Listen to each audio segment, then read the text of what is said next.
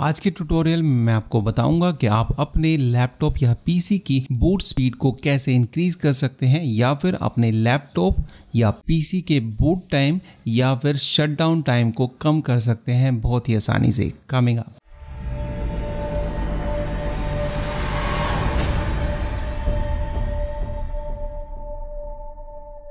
Hi everyone मैं हूँ हर्षवर्धन और आज के एपिसोड में आपका स्वागत है। आज के ट्यूटोरियल में मैं आपको बताऊँगा कि आप अपने पीसी या लैपटॉप की बूट स्पीड को कैसे इंक्रीज कर सकते हैं या फिर बूट टाइम और शट डाउन टाइम को कम कैसे कर सकते हैं। या अगर आपका लैपटॉप या फिर पीसी 30 सेकेंड या उससे ज़्यादा वक्त ले रहा है बूट करने के लिए या फिर शट डाउन करने में तो आप उसको कम कर सकते हैं कुछ सेटिंग्स को चेंज करके बहुत ही आसानी से। और आगे बढ़ने से पहले प्लीज़ इस चैनल को जल्दी से सब्सक्राइब सब्सक्राइब कर लें और सब्सक्राइब करने के लिए इस वीडियो के नीचे जो रेड कलर का बटन दिखाई दे रहा है, उसको प्रेस कर दें और बेल आइकन को भी दबाना ना भूलें।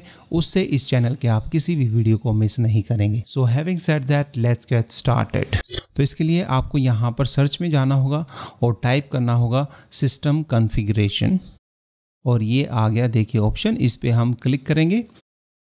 और इस तरह का मेन्यू आपका ओपन हो जाएगा। तो इसमें हमारे पास तीन ऑप्शन है नॉर्मल स्टार्टअप डायग्नोस्टिक और सिलेक्टिव स्टार्टअप और मोस्ट प्रोबेबली ये सिलेक्टिव स्टार्टअप पर ही आपका चेक हो रखा होगा। आपको यहाँ पर कुछ भी चेंज नहीं करना है। आपको आना होगा बूट में और यहाँ पर देखिए नो जी आई बूट इसको क्लिक कर दें और यहाँ पर जो टाइम आउट 30 सेकेंड है, इसको 3 सेकेंड कर दें। और फिर सर्विसेज़ में आए। सर्विसेज़ में कुछ भी आपको अनचेक नहीं करना है। ये बहुत इंपॉर्टेंट सर्विसेज़ हैं।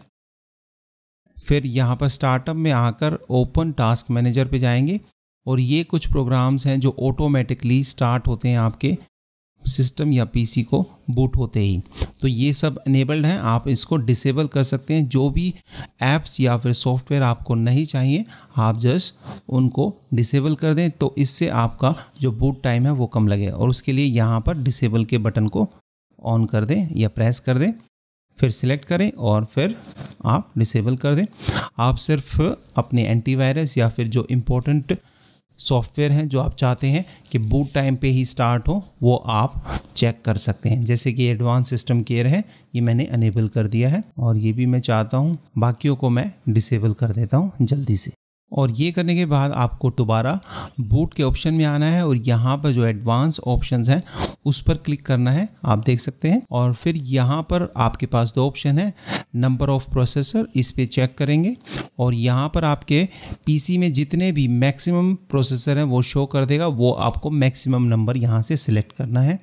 उसके बाद फिर आपको मैक्सिमम मेमोरी पे सिलेक्ट करना है। जितनी भी मैक्सिमम रैम पीसी को बूट अप या फिर शट डाउन करेंगे तो उससे कि आपका बूट टाइम कम लगेगा। उसके बाद ओके प्रेस कर दें, फिर यहाँ से अप्लाई भी कर सकते हैं या फिर आप ओके प्रेस कर दें। और यहाँ पर ये ऑप्शन पूछेगा आपको रीस्टार्ट नाउ या फिर एग्जिट विदाउट रीस्टार्ट तो अभी मैं सिलेक्ट करूँगा एग्जिट विदाउट रीस्टार्ट मैं इसको बाद में रीस्टार्ट करूँगा क्योंकि मैं ये ट्यूटोरियल बना रहा हूँ। ठीक है? तो आप कर सकते हैं, इसको देख सकते हैं और आप अपने सिस्टम को रिस्टार्ट करेंगे तो आपकी स्पीड ज़रूर बूट होगी या फिर बूट टाइम ज़रूर कम होगा। So thank you so much मुझे उम्मीद है आज का ट्यूटोरियल आपको पसंद आया होगा। अगर पसंद आया तो हिट द लाइक बटन नहीं पसंद आया तो हिट द डिसलाइक बटन अगर आपके मन में कोई क्वेश्चन है या फिर आप कुछ कहना चाहते हैं तो कमेंट सेक्शन में लिख सकते हैं। So thank you so much bye see you in the next episode till then keep creating something new